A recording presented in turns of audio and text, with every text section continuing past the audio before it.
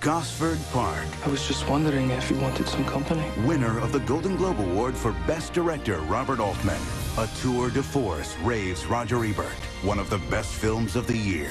Gosford Park. Rated R. Now playing.